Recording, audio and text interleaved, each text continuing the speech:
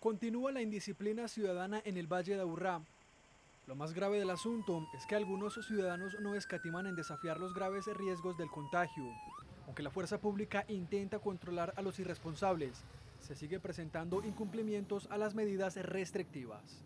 Sí, desafortunadamente tenemos personas que no toman conciencia sobre la situación que está viviendo en este momento, no solamente Antioquia, sino el Valle de Aburrá, y ahí ha estado la policía interviniendo, haciendo las actividades y realizando los comparendos por violación al toque de queda y también por el consumo de bebidas embriagantes.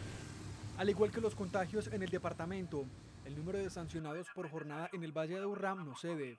Solo en la última noche del toque de queda, la policía impuso 1.012 multas, 760 de ellas en Medellín. Las zonas con mayor indisciplina siguen siendo las mismas. Sigue punteando ahí la comuna de Manrique con 146 comparendos, seguido Candelaria, Bello, Robledo y Poblado.